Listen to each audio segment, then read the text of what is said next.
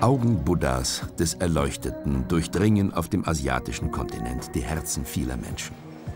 Ihm zur Seite die Götterwelt des Hinduismus mit ihren oft erschreckenden Bildnissen. Das Rad der Wiedergeburten und die Erlösung im Nirvana bestimmen das Leben. In Asien steht die Spiritualität im Mittelpunkt des menschlichen Strebens.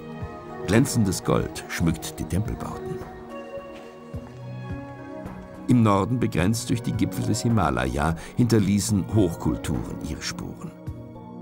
China, das Reich der Mitte. Jahrhundertelang hatte es sich vom Rest der Welt abgeschottet. Die große Mauer stemmte sich gegen mongolische Reiterhorden. Sie ist heute eine vielbesuchte Sehenswürdigkeit.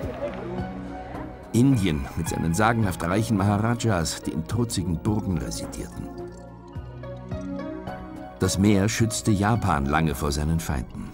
Die Kriegerkaste der Samurais errichtete prächtige Wehranlagen.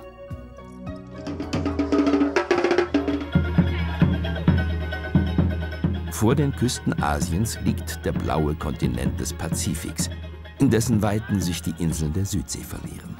Im 18. Jahrhundert berichteten Seefahrer vom Zauber am anderen Ende der Welt. Australien zeigt sich als gewaltiger Kontinent mit vielen Gesichtern.